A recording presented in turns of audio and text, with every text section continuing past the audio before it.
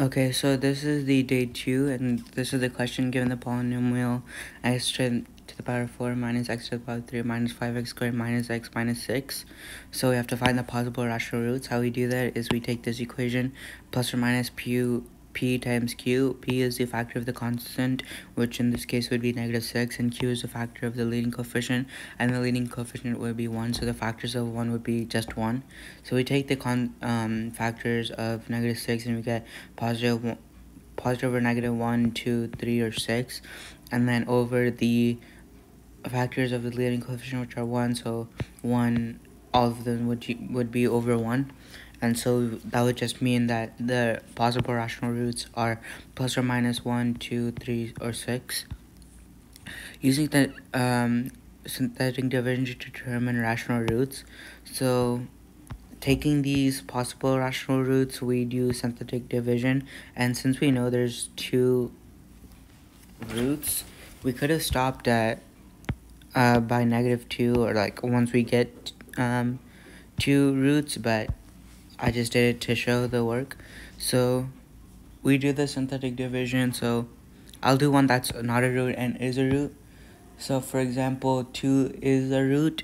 So we would get 1 minus 1 minus 5 minus 1 minus 6. So how we got that is by the leading coefficient. So we take the 2, we drop the 1, you times 2, you add this, you get 1 times 2, um, 1 you get 2 you add this you get negative 3 2 times 3 you get negative 6 you add this um, 2 times negative 7 and negative 14 you add this so negative 20 so that would be the remainder so that means that's not a root. For it to be a root there would be a uh, zero remainder. Then we can also take so this is one is a root and since positive 3 is a possible root you take 3 you do synthetic division again and you get that 0 is the remainder which means that it is a root. And the other one the other root is negative 2 because when we did the synthetic division we again got a factor I mean the remainder that is 0 so that means it is a root. So negative 2 and positive 3 are the roots rational roots. So next determine the imaginary slash rational roots. So for the rational roots we can take a quotient of oh yeah i guess a, a quotient of uh, one of these fact or rational roots. So we take this polynomial and we divide it with a uh, rational root. And so the answer would be this. For example for the negative 2 uh, the quotient would be this. And how we get that is these are the coefficients. So we have uh, instead of x minus 4 we do x to the power of 4 we do x to the power of 3 so we start with that and then we have the quotient of 1 so we get x to the power of 3 negative 3x squared plus x and then minus 3 and so uh, we can just factor this. So I factored out x squared and then just a 1 from this. So we get um, x squared plus 1 times x minus 3 and then since x squared plus 1 is equal to x squared minus i squared, uh, that's what I wrote it as because you need to find the rational roots. And then x squared minus i squared, the difference of squares, so property, so you get x plus 1, x plus i uh, times x minus i. And then since we're just looking for the rational roots, we can um, like disregard this. So we get, oh yeah, yeah, so we get x plus 1 equals 0, x minus i equals 0, and then if we solve for x, so we get negative i and positive i as our irrational roots. And so this x minus 3, that was the other factor, the rational roots that we found, so we know that it's correct in that negative 2 and positive 3 are rational roots.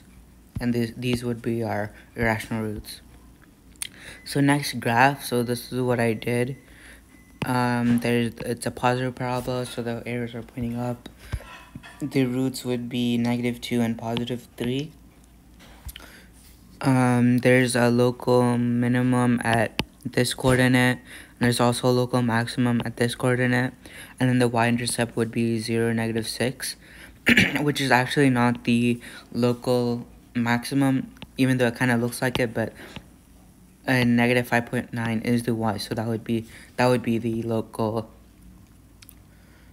the local um, maximum and not the y-intercept. And then the local the absolute minimum would be 2 and negative 20 so for the domain we go left to right. So we get since there's the arrows here it's negative infinity to positive infinity.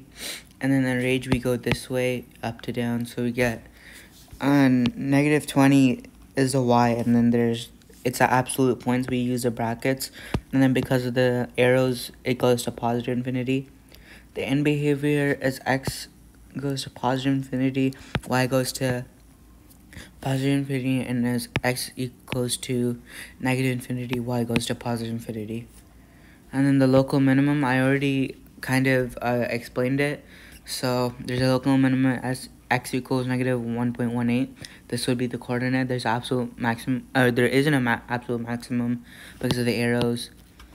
And then the local maximum x equals negative 0.104 this would be the coordinate and the absolute minimum is when x equals 2 and that would be the coordinate. So the increasing interval is whenever there's a positive slope. So we see that from going left to right the you first see a positive slope when uh, negative 1.18, which is here, to negative 0 0.104. So from here to here, there's a positive slope, which would mean there's an increasing interval, and then there's also increasing interval from 2 to positive infinity. So the decreasing interval is everything else, so negative infinity to negative 1.18. So as you can see, it's a negative slope, and also from negative 1 negative 0.104 to positive 2. So that's a decreasing interval because of the negative slope. And the next question is verify roots by multiplication. So you take the irrational roots, uh, x plus i times x minus i, we factor it. So we get x squared minus i squared. And then we take the rational roots, which is x minus 3 times x plus 2 we multiply and then we get x squared minus x minus 6 so we combine these two by multiplication. So we get x squared minus i squared times x squared minus x minus x minus 6 and so we can factor this x squared minus i squared. We can um, turn it into x squared plus 1 and then this would be stay the same. And this x we would fact FOIL all these terms and so we get x to the power 4 minus x times x to the power 3 minus 5x squared minus x minus 6 which is the same exact um, given polynomial. So we know that our roots are correct